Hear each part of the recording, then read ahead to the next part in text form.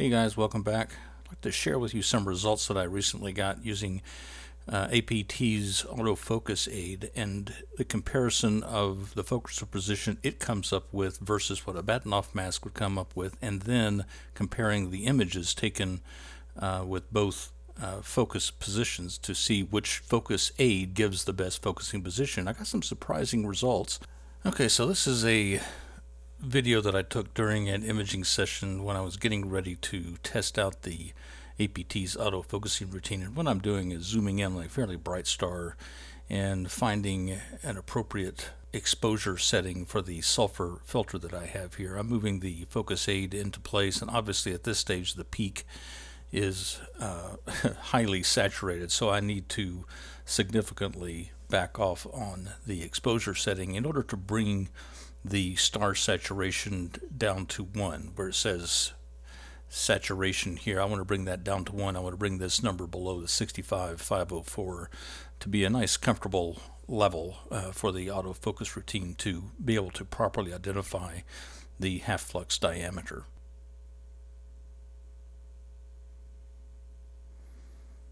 Alright, so here I'm got the exposure set at uh, 0.075 seconds for the sulfur filter. I'm going to center the star within the little window. The window is awful small because it does move when you adjust the focuser position. Now that I have that set up, I'm going to bring up the autofocus aid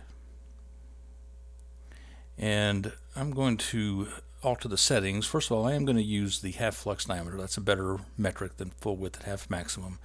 I don't really know what the threshold is. 0.05 seems like a reasonable number. I suspect I could go lower. The fine focuser step is pretty fine here, so I'm increasing that to 5. The coarse focuser step for me, I don't know, something around 20 to 30 is probably good enough. The max number of moves is 100, that's more than enough. And then I like to wait a few seconds after the focuser is adjusted to allow the uh, the system to settle down a little bit before it takes a, a picture. Now you just press the start button and it starts adjusting the focuser position and keeps track of the half flux diameter, but it doesn't really give you any uh, feedback as to what it's finding along the way other than the peak value and the half flux diameter.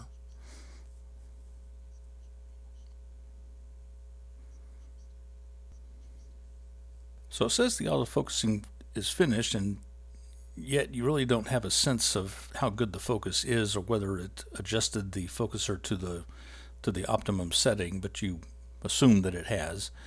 And now at this stage I'm going to go outside and put on the Bahtinov mask and see how the focus found by the uh, astrophotography tool autofocus compares to what I would get using a Bahtinov mask. So using the sulfur filter, we're getting, we're losing quite a bit of light through here. Five seconds is not a whole lot of time for this exposure, but I can use the screen stretch to bring that up a little bit and help the uh, Bahtinov grabber better identify the diffraction spikes.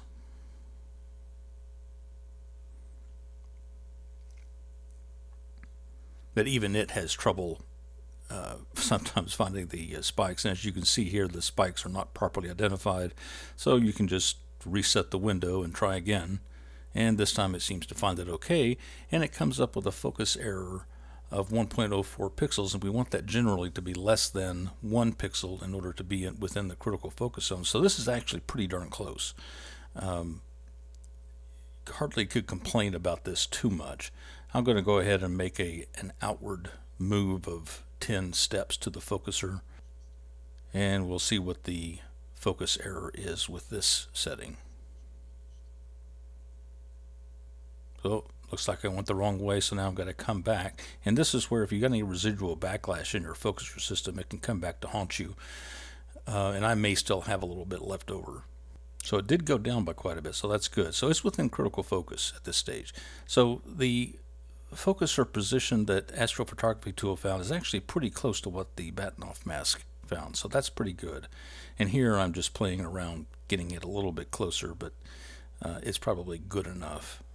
And that's pretty good there. Okay, so in this particular example, the astrophotography tool came up with a focuser position not too far off from what the Bahtinov mask uh, would have provided. And I think that's a that provides some level of confidence. Okay, fast forward now. It's about four o'clock, almost four o'clock in the morning. I'm switching from the Horsehead Nebula over to M81 and M82. You can see the two galaxies, the core of M81 and M82. And what I'm doing now is setting up for the blue filter and finding an exposure in the star that I can do the uh, use the astrophotography tool autofocus aid on. That one was too low. Uh, this one's a different star and as you can see we're at about a mid saturation level which is a pretty good amplitude. Now I'll center the star within the little window. So in this case I have a focuser position that is 4813 uh, that uh, before any focusing is done. That's an important number, so keep that in mind. I'm going to turn off the temperature compensation here so that I don't get some uh, random change in the focuser position while I'm trying to image here. And now we'll fire up the autofocus aid. All the settings are the same as the as we used earlier in the night, so I can just fire it off and let it do its thing. Now, first of all, notice here how much the star moves when you make adjustments with the uh, the focuser. This window is actually very small. There is the risk that changes to the focuser will push it out of the window. That didn't happen here, but it seems like it's awful close to happening. See, it just barely stayed within so that says it's done. The image that we're looking at is clearly out of focus, so one hopes that it identified the optimum focus position and set it to a, a different value than what it's set to here. Now I'm going to go back out, put on a Bahtinov mask, and then slew over to a bright star and see how the focus is for this particular setting. Now Castor is a fairly bright nearby star, so I'm going to select it from the list of stars and do a go-to move. I'm not going to use go-to plus plus. I have the Bahtinov mask on the scope right now, so I'm just going to uh, tell it to go to this location, and hopefully it's well enough aligned and and uh, synchronized from the last time it did a a uh, plate solve that it the star will be more or less in the middle of the view, the center of the view. You can see right now that uh, this is the focuser position that astrophotography tool came up with. So we went from 4813 to 4783. And now we're going to see if the star's in the view. It is, and there are the diffraction spikes. Let's bring up the Bahtinov grabber, get it out of the way, and identify the area of the screen. Should not have any trouble finding the uh, diffraction spikes in this case. So this would suggest that we are very far off from focus. And if you look at that central diffraction spike, it certainly is far off from the, uh, the middle of the image, uh, moving the focuser out by 20 steps. And we'll see what the focus error is. It's quite a bit better. We'll adjust the focuser one, 20 more steps out, take another image.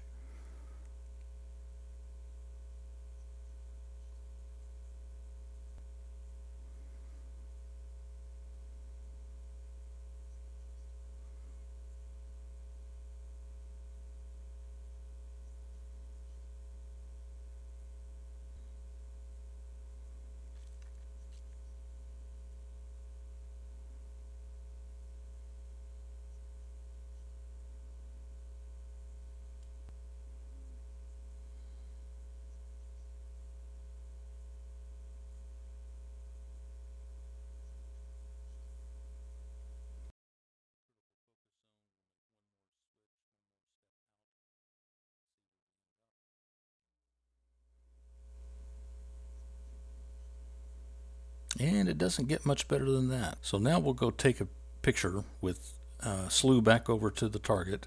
First I'm going to take go the, uh, the filter wheel and take out the steps, the uh, adjustment steps here because I don't want it to move the focuser when it does a go to plus plus move over to the desired uh, center of the image because it's going to switch to the luminance filter and I don't want it to move the focuser. I want the focuser to stay exactly as I have it uh, right here with this uh, focuser position. So I've gone outside, I've taken off the Bahtinov mask, And so now I can use the GoTo++ feature to get back onto the target.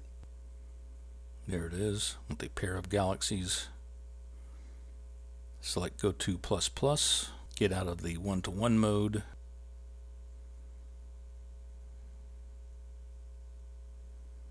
And there you can see the central core of the galaxy, both M81 and M82. A little high up, I want that star there to be back down here. And that's about as good as this mount is going to do. I cut it off to three iterations because there's no point in letting it futz around and try to move it a few pixels. So it's not going to change much here, more or less. Yeah, we'll synchronize it, show it in Stellarium, go over to uh, Stellarium and show that it's centered on the image. There it is, the two galaxies in the field of view for the ED102. I'm going to take a picture, uh, start imaging with this focuser position, and we'll compare the first image taken with this focuser position setting with the image I got from the focuser position before I did any focusing. Okay, so here are the two pictures. The one picture I got just before I did any focusing, uh, and then the picture I took after the using the Bahtinov mask. Now, one of these is relatively out of focus according to uh, focus metrics that we're, we're used to seeing, the number of stars detected and the uh, average half flux diameter, for example. But I challenge you to look at these two images and tell me which one of them is, is more out of focus than the other. It turns out that the one on the left, which is the image that was taken before any autofocusing was done, either the astrophotography tool or the uh, Bahtinov mask, this image is actually better than the image on the right, which was done with after the Bahtinov mask. Now, in this case, the focuser position when I first started this was already set at 4813. Astrophotography tool adjusted this minus 30 steps. In other words, it moved the focuser in by 30 steps to 4783. And then when I went and used the Bahtinov mask, that adjustment moved the focuser out by 90 steps relative to the starting position. And then when I used the Bahtinov mask, I had to push out, move the focuser out by 120 steps relative to where astrophotography tool had put it. So that's quite a bit of difference. This represents um, a 90 step difference, but the astrophotography tool was very close to, uh, much closer to this focuser position than this one, and this one is the one that's out of out of focus. Let's go over to the astrometric stacking tool and let it analyze these two images. For the image that's on the left, the half flux diameter average for the image is 4.0 and there are 501 stars detected. In the case for the image adjusted, where the focus has been adjusted using the Bahtinov mask, I have actually a worse, at least according to these metrics, a worse half flux diameter and fewer stars. Now, only just by eye, comparing the two images, you really can't tell them apart. So some of this error may just be in these these statistics that are being calculated here, but it is interesting that the uh, Bahtinov mask gave me a worse focus position than uh, the original focus position or the one that astrophotography tool had come up with. Wow, this is pretty shocking results uh, after all the work I've done with focusing of late. Um, first of all, the astrophotography tool's so-called autofocus aid is actually more manual than auto. You can't uh, incorporate it into uh, automatically to be initiated within an imaging plan. You have to do it by hand. Uh, although once you click the run, it will find a focus, its version of an optimum focus position. Uh, it still has to be kicked off by hand, so it's really not an auto focusing aid. Um, the aid provides very little feedback during operation, just exposure started, exposure ending, and leaves you with an image that may or may not be close to focus. So it doesn't inspire a great deal of confidence in its results just by the way it works and how little information it provides. Uh, what I found is that in these two cases uh, that I've, I've showed you here, the APT calculated focuser position can be close or it can be pretty far away from what you'll find with using a Bahtinov mask. So that's also a bit surprising. But the really surprising thing to me is that when I actually compare an image taken with a focus, focuser position very close to what APT identifies as the optimum position, is assessed to be a better image based on the number of stars detected and the half flux diameter for the image on, on average uh, than what I got with the Bahtinov mask. That is very surprising. I would have assumed that the Bahtinov mask gave me a very good uh, focus, gave me the best focus, and that I was just trying to get a uh, an approximate focus using methods like this. So these results are a little astounding. Um, it's really hard to tell the difference, though, between the images uh, when viewed side by side. So that begs the question what exactly is accurate focus? And God, I don't know. I'm getting to give up. Um, I would say for me going forward, I think I might go ahead and try using the uh, APT's uh, so-called autofocus aid just because it takes a heck of a lot less time and doesn't seem to provide any worse results than what I'm getting uh, with a with a Bahtinov mask. Bahtinov mask seems to seems to uh, give you the sense that it's more accurate just because you can see the diffraction spikes and and uh, have a, a, very accurate, apparently, measure of, of the number of pixels that you're off. But at the end of the day, the image you get when you take a, uh, a picture and use um, either the PixInsight's subframe selector tool or uh, ASTAP's analysis, it turns out that the image you're getting with the Bahtinov mask may not be any better or may be worse than what you would get with the uh, astrophotography tool. So, I don't know, guys. I think uh, I think I'm going to give APT's autofocus routine a, a second uh, a second look going forward.